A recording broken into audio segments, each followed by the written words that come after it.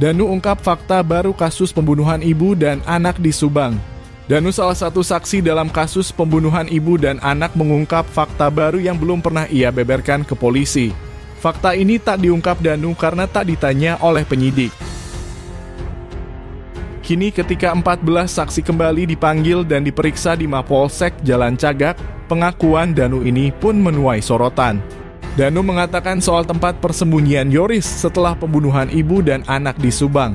Danu mengungkap kesaksian baru terkait kasus pembunuhan ibu dan anak di kampung Cisuti, Desa Jalan Cagak, Kecamatan Jalan Cagak, Kabupaten Subang, Jawa Barat. Danu mengatakan ia sama sekali belum memberitahu kesaksiannya ini pada penyidik kasus pembunuhan Tuti Suhartini dan Amalia Mustika Ratu.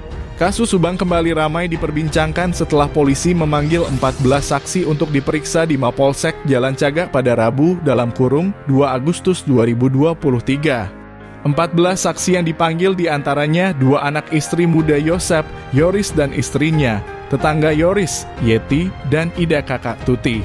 Sementara itu, saksi kunci dalam kasus pembunuhan Tuti dan Amel, Danu justru tak ikut diperiksa. Panggilan ke Danu belum ada, kata kuasa hukumnya Ahmad Taufan Sodirjo saat dihubungi tribunusbogor.com pada Kamis dalam kurung 3 Agustus 2023. Danu disinyalir mengetahui banyak hal soal pembunuhan ibu dan anak di Subang, ia bahkan disebut sempat menguras bak mandi di lokasi penemuan jasad Tuti dan Amalia Mustika Ratu. Selain itu, Danu pun sempat masuk ke dalam mobil Alphard hitam, tempat jasad Tuti dan Amel disembunyikan. Rupanya tak hanya sampai di situ saja, Danu juga sempat bersembunyi di musola bersama Yoris, anak pertama Tuti dan Yosep sekaligus kakak Amalia Mustika Ratu. Danu bercerita dua hari setelah pembunuhan ibu dan anak di Subang, Yoris ditawari memakai pengacara, namun ia menolak. Yoris lantas mengajak Danu menghindari orang yang menawarkan pengacara tersebut. Awalnya itu di rumah Bililis. Danu dan Yoris nyumput dulu, bersembunyi dari. Ada yang bilang waktu itu teh kalau gak salah pengacara buat AA sama papa.